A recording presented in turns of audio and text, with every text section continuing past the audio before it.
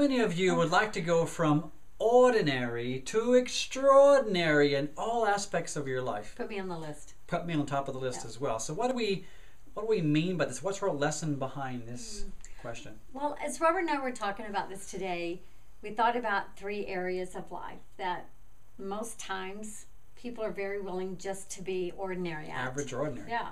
And one is in marriage. Um, the second one is in parenting or even in grandparenting. And the third one is whatever business you're in or what you do for your living. Exactly. You know, uh, the first one, as far as as far as relationships and marriage, we were at a uh, we were eating out, Yeah, we were at a restaurant. having a real candid conversation, kind of holding hands, having a good time. We just uh, about to see a movie, and across from us was a couple doing what? It was so funny. I said, Robert, look, that couple is doing everything they can not to look at each other. And they were married, and you could tell they've been married a while, but it was so crazy. I mean, any, they were not speaking to each other, but they couldn't even look at each other. So it might have been a tough day or whatever. We don't know he that. was reading the menu, if that tells you anything. but but but the lesson behind it was if you want to be extraordinary like in, in a marriage or relationship then don't do what ordinary marriages do yeah. that's one fun little example. Be candid and and ask candid questions and share your heart with each other. And the other one was the uh, the grandkids. Yeah.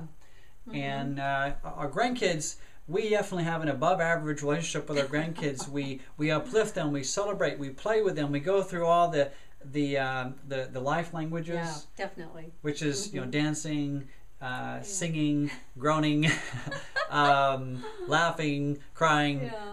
With them as much as we can Yeah, yeah, they love all of that. Today I got such a belly laugh because Hunter made this little trap outside of the front door to catch a bear in case he came in the house. So I pretended I was the bear getting Fun. in the trap. So it was she fun. was the bear and a couple days ago i was on a I was on an African safari with the kids in the Yeah. Mm-hmm. backyard. We captured giraffes and elephants. he was carrying a purse. And the last thing with our business, we we have a home based business, and if you want to be extraordinary, even in what you create with your wealth and your business, then don't do what the average people do, which is mm-hmm. kind of coasting along, never writing their goals mm-hmm. down, never stepping up into a higher level of, of accountability. Mm-hmm. So, or what's our call to action?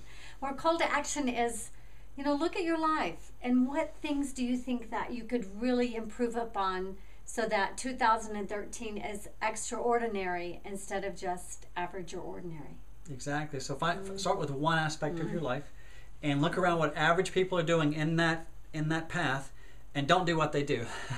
do a lot more than what they do. Yeah, So absolutely. have an amazing day. Yeah, so are you going to tease me about the. Oh, the ball cap. What Well, Joy's having an extraordinary day, being authentic today for you, It was a busy day and it just didn't happen, so. and you're beautiful Yeah, make it a great day. because you deserve it. Thank you.